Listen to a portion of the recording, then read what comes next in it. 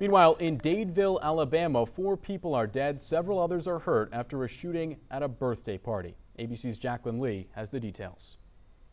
Gunfire erupted late Saturday evening during a birthday party in Dadeville, Alabama, a small rural town about 60 miles northeast of Montgomery. Authorities have asked the public to contact them with any information that might help in the investigation. This is going to be a long, complicated process.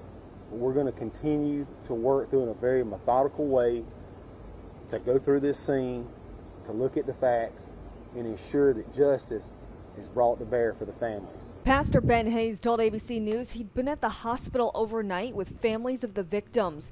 Hayes said family members told him the gunfire erupted inside the small party venue when tempers flared during an argument. Officials have not confirmed that children were involved in the shooting, but counseling will be available to students Monday morning. We will make every effort to comfort those children and don't lose sight of the fact that those are the ones most impacted by this situation. The police chief described Dadeville, which has a population of about 3,000, as a tight knit community full of wonderful people. I ask you to please keep our community in your prayers.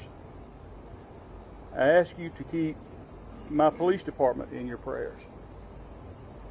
And I also ask each of you, please do not let this moment define what you think about the city of Dadeville and our fine people. Alabama's Governor Kay Ivey offering her condolences, tweeting, I grieve with the people of Dadeville and my fellow Alabamians. Violent crime has no place in our state. Jacqueline Lee, ABC News, New York.